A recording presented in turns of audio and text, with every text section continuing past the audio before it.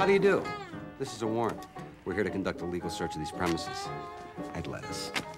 Jack, I'll notify two men my up here. employees. Want two more men in this room right here. Let's go. Move, move, move. Come on, let's go, man. John, take the back room.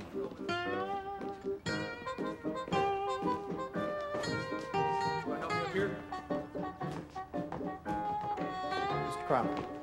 Thank you, Paul. Uh, excuse me? Uh, why, why are you in my house? Sure, it's a mystery to you, but you, Laurie, will be able to explain. Wallace?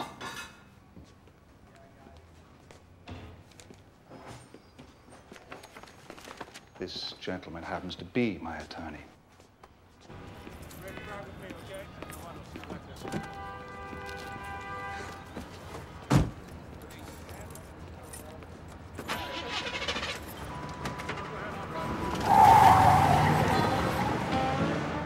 Oh, keep your knickers on.